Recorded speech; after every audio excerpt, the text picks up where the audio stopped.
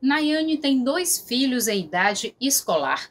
Nesse período de pandemia, os adolescentes tiveram aula remota. Ela sugere um retorno híbrido, com atividades presenciais e online, embora acredite que o melhor para os filhos dela fosse o retorno totalmente presencial. É necessário prudência e cautela.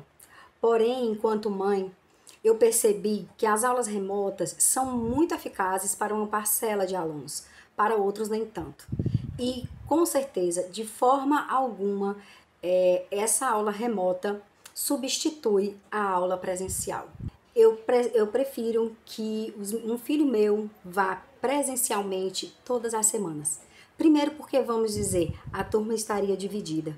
E segundo, porque para ele, remoto não funciona. Um levantamento do Datafolha mostrou que 90% dos pais do Nordeste preferem a continuidade das aulas remotas. A pesquisa mostra que há um grande receio em relação ao retorno das atividades escolares ainda em 2020.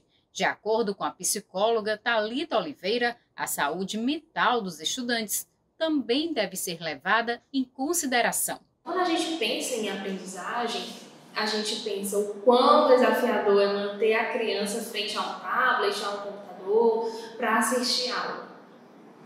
E a gente tem que entender que a gente está trazendo as escolas para dentro de casa. Sim, antes esses locais físicos divididos, onde a criança acordava, ia à escola, encontrava o professor, os colegas, ia aprender. Agora, esse, esse lugar está dentro de casa. Como é desafiador para as famílias esse papel? Como eu, como mãe, como pai, como eu posso ajudar meu filho a aprender? E é muito simples. Primeiro a gente tem que pensar que a criança ela precisa de respostas. Então, o diálogo com a criança é muito importante. Sentar, explicar de forma lúdica, de forma que ele entenda, perceber a visão dele em relação a tudo isso e dar respostas a ele.